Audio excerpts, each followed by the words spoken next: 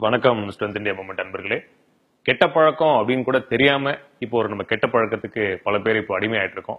இந்த அப்படின்னு சொல்றோம் இல்லைங்களா? சூவிங்கம் சாப்பிடுறதுனால அளவா சாப்பிட்டா தப்பு இல்லை பட் நம்ம யாரும் அளவா சாப்பிடுறது இல்ல.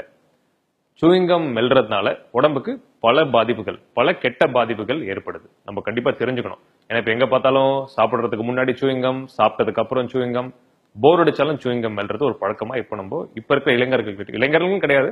எல்லாருக்கிட்டையும் பாக்குறோம் நானும் ஒரு காலத்துல அதை பண்ணிருக்கேன். பட் அதனால எவ்வளவு கெடுதிகள் இருக்குன்னு நீங்க தெரிஞ்சுக்கிட்டீங்கன்னா கண்டிப்பா அதை நீங்க சாப்பிடுற அளவை இல்ல மெல்றத குறைச்சிப்பீங்க. இந்த சூயிங்கம் அப்படின்ற விஷயத்த பாத்தீங்கன்னா இரண்டாவது உலக போறப்போ அமெரிக்கா வந்து ரொம்ப பாப்புலரைஸ் பண்ண ஒரு விஷயம். ஏன்னு பாத்தீங்கன்னா நீங்க ஃபார் எக்ஸாம்பிள் இப்போ போர்க்காலத்துல பாத்தீங்கன்னா புகை அதிகமா இருக்கும் தூசி அதிகமா இருக்கும். ஸோ அதுல இருந்து கண் கண்ணுல இருந்து தண்ணி வராம இருக்கிறதுக்கு இந்த சூயிங்கம் சாப்பிட்டு மெல்லும் போது மென்னுட்டே இருக்கிறதுனால அந்த வாய் அசைவு கொடுக்கறதுனால கண்ணுல இருந்து வர தண்ணி அளவு குறைய ஆரம்பிக்கும். ஃபார் எக்ஸாம்பிள் வெங்காயம் கட்டுறவங்க கட் பண்றவங்க கூட இந்த வேலை சூயிங்கமோ இல்லை மென்னுகிட்டே இருந்தீங்கன்னா கண்ணுல இருந்து வர தண்ணி வந்து நேச்சுரலா குறைய ஆரம்பிக்கும். ஸோ அதுக்காக கொண்டு வரப்பட்ட ஒரு விஷயம் சூயிங்கம் பட் இப்போ நம்ம எப்போ பார்த்தாலும் எங்கே பார்த்தாலும் சூயிங்கம் இருக்கிறது ஒரு சூயிங்கம் மெல்றது. ப்ளஸ் சூயிங்கம் மெல்றதுன்றதோட கடையில் எங்கே பார்த்தாலும் சூயிங்கம் தான் அதிகம் விற்கிறாங்க ஸோ சூயிங்கம் சாப்பிட்றதுனால பல விஷயங்கள் பல கெட்ட விஷயங்கள் நம்ம உடம்புக்கு நடக்குது. முக்கியமாக நம்ம குடல் பகுதிகள் ரொம்ப வீக் ஆகுது பழுதடையுது. இந்த குடலில் பார்த்தீங்கன்னா மைக்ரோ வில்லைன்னு சொல்லுவாங்க. உள்ள குடலுக்குள்ள நீங்க சாப்பிடுற பொருட்கள்ல இருந்து இருக்கிற ஒரு சத்து பொருட்களை உடம்புக்கு அப்சார்ப் பண்ற விஷயம் அந்த மைக்ரோவில்லை பண்ணுது. ஸோ இந்த நம்ம சூயிங்கம் சாப்பிட்றதுனால அதுல இருக்க கெமிக்கல்ஸ் போய் அந்த மைக்ரோ வில்லையோட அதோட செயல்திறனை அதிக அளவு குறைச்சிடுது. பிளஸ் நம்ம சாப்பிடுற பொருள்கள் பொருள்கள் இருக்கிற ஊட்டச்சத்து போய் நேரடியாக நம்ம உடம்புல சேர்றது இல்லை ஸோ இந்த சூயிங்கம்ல பாத்தீங்கன்னா titanium dioxide acesulfame potassium aspartame corn syrup high fructose corn syrup இந்த மாதிரி பல தேவையில்லாத கெமிக்கல்ஸ் அண்ட் டைஸ் உடம்புக்கு பல லெவலில் டேமேஜ் ஏற்படுத்தக்கூடிய கெமிக்கல்ஸ் அண்ட் டைஸ் இருக்கு.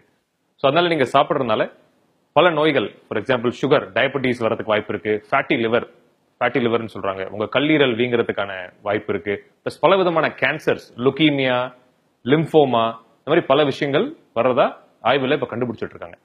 முக்கியமா தைராய்டு சுரபியை வந்து அது செயல்திறனை வந்து ஒரு ஒரு நாற்பதுல இருந்து ஐம்பது சதவீதம் குறைக்கிறதாவும் இப்போ சில பேர் சொல்லிட்டு இருக்காங்க.